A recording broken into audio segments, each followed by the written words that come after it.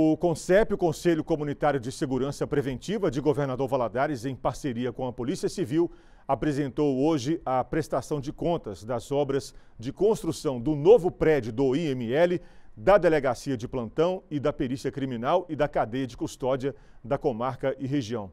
E também a apresentação dos trabalhos da instituição na cidade.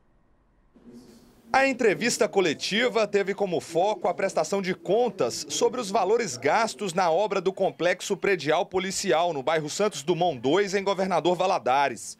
A parceria é entre o CONCEP, Conselho Municipal de Segurança Preventiva, que faz a gestão dos recursos, e a Polícia Civil, que monitora o andamento da construção.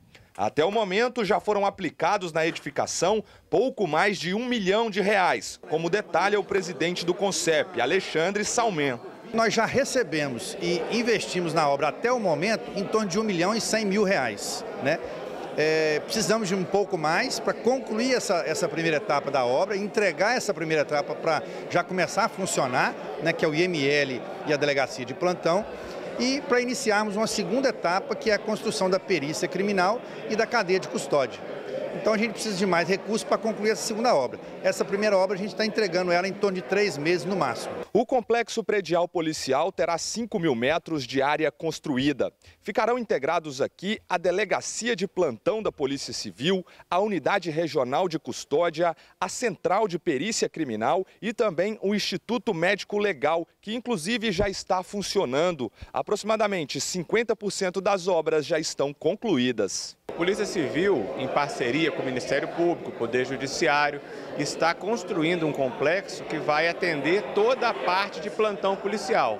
Perícia, custódia de materiais apreendidos e o IML. Vão estar todos concentrados no mesmo ambiente. A previsão de conclusão do nosso plantão é para dezembro desse ano. As demais partes da obra vão ser para 2024. Na coletiva de hoje foi anunciado que parte do dinheiro investido no espaço tem origem em repasses do Ministério Público de Minas Gerais, Ministério Público do Trabalho e a Vara de Execução Penal. Até o momento foram captados e repassados ao CONCEP 990 mil reais. O desafio agora é levantar recursos para a mobília da estrutura.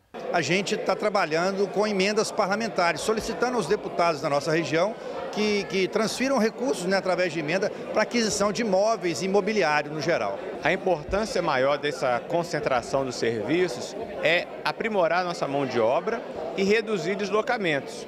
Isso também facilita a vida da população que precisa do atendimento da Polícia Civil, uma vez que todas as conduções e todos os atendimentos vão ser realizados no mesmo local, evitando o transporte de materiais, evitando o transporte de pessoas, de presos, de testemunha, tudo vai ser feito no mesmo local.